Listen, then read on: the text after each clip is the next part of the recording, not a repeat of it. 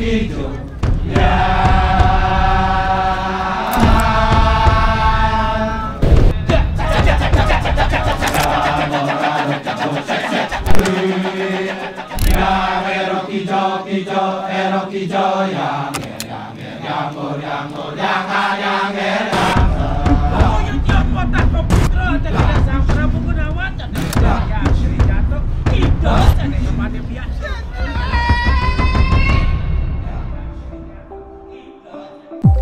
好，这里是视频大拍档，我是特里。大家刚才片看到的片头呢，是我把之前的巴厘岛的 vlog 重新浓缩了一下，剪成了一个比较短的片子。在这个视频呢，我想跟大家分享一下我在剪这个片子的片头啊、我是怎么想的，为什么要这么做。希望大家能够学到一些东西。之前呢也做了很多的拉片，这呢可以多把自己的作品拿出来跟大家讲一下，分享一下。好，我们开始吧。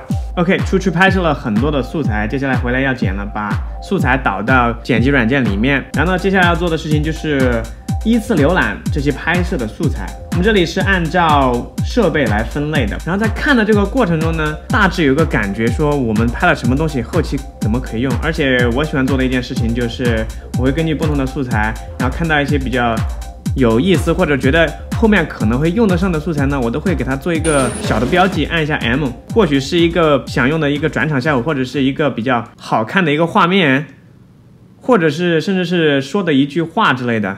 There's a、gate。之后在剪辑的时候要用的时候呢，就会方便很多。就看，哎，这里这个素材有个标记，那就可以直接用。有时候呢，如果这个素材很废，你就你看着啊，感觉都没有用，你直直接把它删掉就行了。但这个删是软删除，不是硬删除，不是直接从硬盘里删除，它只是从剪辑软件里面删出去。举个例子，这里这个画面，哎，掉进水里，我觉得这个画面变化比较充分，可以作为一个转场，比如说在落水的一瞬间，啊，我可以切换到下一个在水下的画面，按一下 M，给它打一个标记。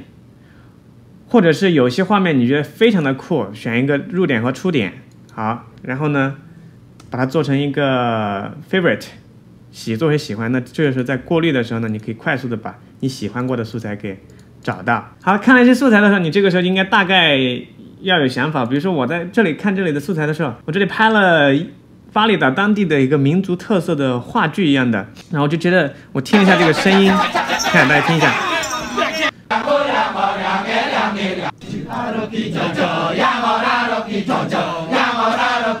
我就觉得他们这个歌声非常有民族特色，表演也是非常不错的。我就在想，哎，我在片头可不可以做一个比较有民族特色，又比较神秘感的一个片头呢？因为我觉得它的声音很有特色，对吧？我就把显示声音、显示波纹，然后看一下它的这个声音放，然后再放大。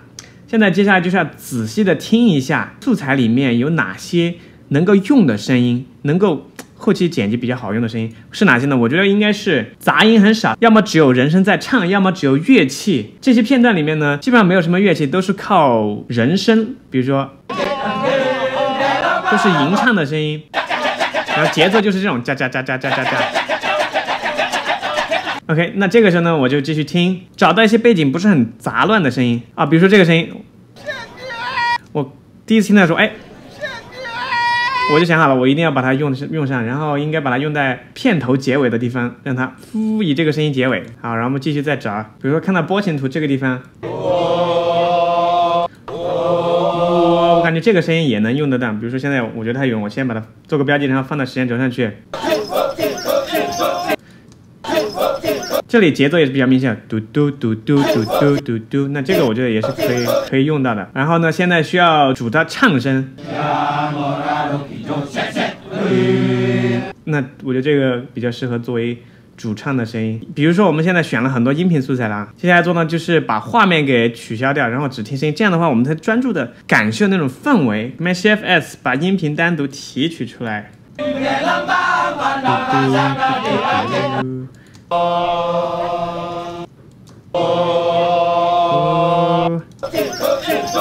那这个时候呢，我大概就有那种感觉了。我们来看一下实际的项目吧。OK，这就是我经过了一番的排列组合拼出来的一个，就像连贯的一首歌一样的。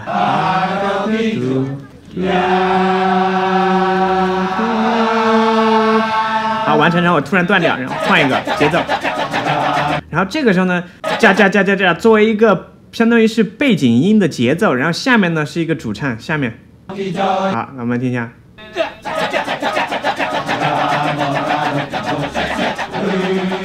然后这里呢，慢慢的渐变，把声音慢慢变小。然后又只有人的唱的声音。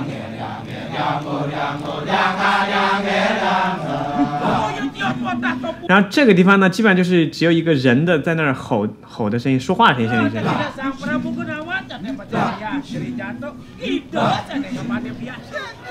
看刚才那个老大爷最后的声音，哎，噔噔噔，光这样有人在那唱的话，我觉得还是缺点东西。怎么样？怎么做呢？我当时在想，哎，是不是应该加点乐器的伴奏？于是呢，我就找导了一些 loops，不是这样，是应该是我想的是应该是要比较传统，然后比较宏大那种感觉，我就找的应该是鼓机 Audio SFX 啊，这里。噔噔噔噔噔，你看这个是比较简单单调的节奏，比如说把这个就可以坐在最前面去，把它放在最开头，啊，对吧？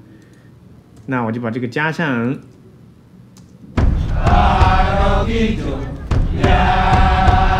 有了这种鼓声，再配上这个歌声。那就很有那种感觉了，因为歌只有只有人声在唱的话是没有感觉，有了乐器的烘托会更有感觉一些。那我就继续去听不同的这个乐器，这些都是简单乐器的打击的声音那，这个可以作为一种氛围的增加紧张情绪的节奏音。那这个呢是一种也是背景音，烘托情绪的。这个是中提琴还是大提琴的那种摩擦的声音，也是让节情绪更加紧张。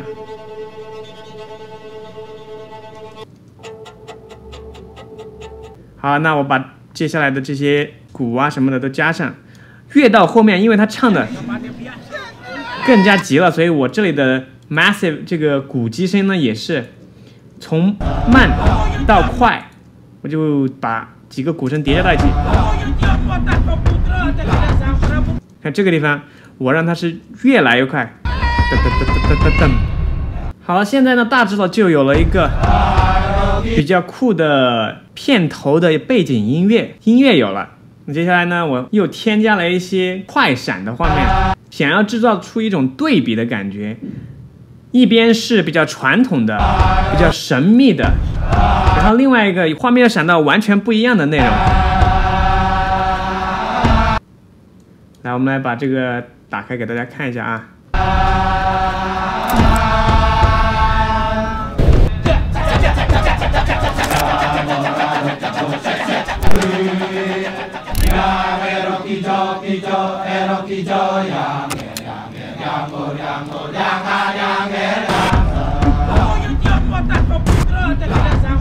看这样的对比是比较强烈的，一是声音。二是画面的慢镜对比，你看这是普通的速度，然后呢也是有镜头的运动，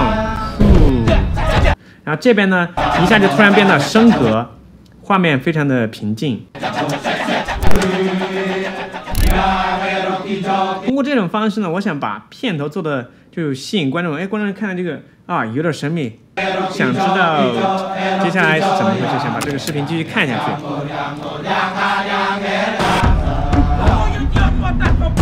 然后在每一次画面切换的时候，我添加了一个这个这样的转场，这是什么呢？其实这就是平时在拍的时候，有时候镜头甩的比较快，就快速的闪了一下，因为这里只有可能零点几秒，一两帧或者三四帧，视觉上快速的切换一下。负。之前我在一期节目里讲过闪烁转场，我讲的原理就是这些闪烁的元素呢，让抓住你的。观众的眼球，让观众快速的有一个心理准备，让他知道，哎，下面画面要变化了，这样相当于有个过渡。如果没有这个没有这个快速闪烁的元素的话，我们把它关了。看，直接切过去，其实没有那种感觉，但是添加了这样快速甩镜头产生的这种闪烁效果呢，就更有感觉了。然后这里呢，为了让这个闪烁更明显，我还添加了我们的。Glitch FX Glitch 效果，让它只有那么一两帧闪一下。很多人在用这种闪烁效果的时候，很忽略了音频啊。音频其实非常重要的。如果你把这个音频关了，没那种感觉，但是声音才能够给你带来那种身临其境的感觉，所以音效设计这些转场的声音是非常重要的，不要忘记了。那这里是怎么设计呢？我先来了一个咔咔咔的声音，咔咔咔，然后呢再添加一个 fu，因为镜头是甩动的嘛，所以 fu 的一声，fu，先是咔咔的一声，然后呢再添加，因为这里有这个 glitch 效果。所以我添加一个 glitch 的哒哒哒的声音，好了，最后呢，再添加一个总体的比较偏低音的划过空气的声音，划过空气的声声音是这样的，咻，看，混合到一起就好了。片头要结尾了，要出现标题了呢，这里最好找找一个对称构图的，然后慢慢推进的，慢慢推进这种镜头啊，一般都是预示着要什么要完成了，什么要发生了。有那种视觉冲击感，呼，慢慢推进，节奏也越来越快。其实这里我觉得还缺一个东西，我觉得还缺一个音效设计里面的 riser，riser 就是呼咚的那种感觉。来，我们来添加一个这里的 risers。刚刚看到的音频管理是非常方便的，我要找什么效果，你想找的，这有点太强烈了啊！这个其实我比较喜欢用，就是音差的声音反转。来，我们把它添加进去看一下啊，试一下那种感觉。镜头慢慢推进，加上这种 riser 渐进，是声音是非常不错的。哎，再过去一点。OK，那这就是片头大致是什么样的。我再给大家看一下完整的片子吧。不过如果你看过了我们的巴厘岛 vlog 的话，其实那你就不用看。如果你没看过的话，可以还可以看一下这个短片。